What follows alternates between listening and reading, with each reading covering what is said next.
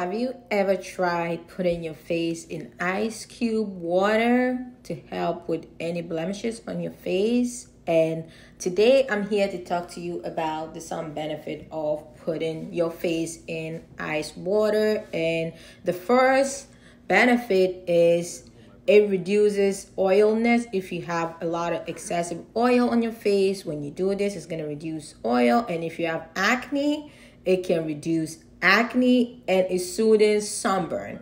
This is one of the best way the reason why i love the ice on the face because summer is here and sunburns can be crazy. So if you do that that can really help cure some of your sunburns and it reduces it reduces swelling and inflammation including redness and insect bites. So when you get bite and redness it can help it reduce. So crazy this is crazy and this is something that you have in your house almost every day and if it can help why not give it a try? And me and my husband went on this journey last year to try it and see how it helped.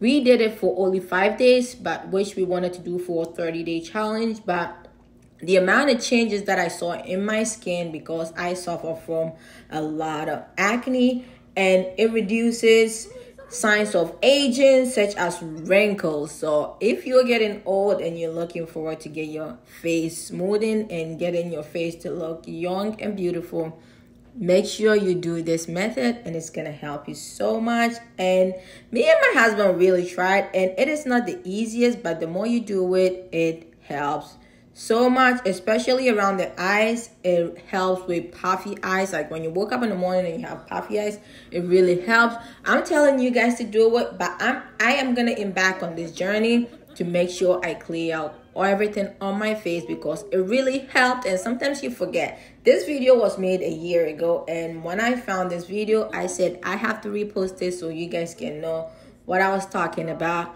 i have a lot of acne and I gotta fix it. So make sure when you see this video, make sure you go and try it. And thank you so much for watching. Those are some benefit of soaking your face in ice water. So I hope you try it and I love you guys so much. And all that I was saying around this area was thank you guys so much and make sure you subscribe to my channel and help the channel get to the next level. And at this point in this video we were 5,000 subscribers so now thank you guys so much for 38,000 subscribers and we keep grinding. So thank you guys so much and I'm very grateful. Make sure you try this ice water and you are not gonna regret and you're gonna be coming back and thanking me later. So cheers up to the people who can do it. I really appreciate it if you're able to do it if you have any problems with your skin.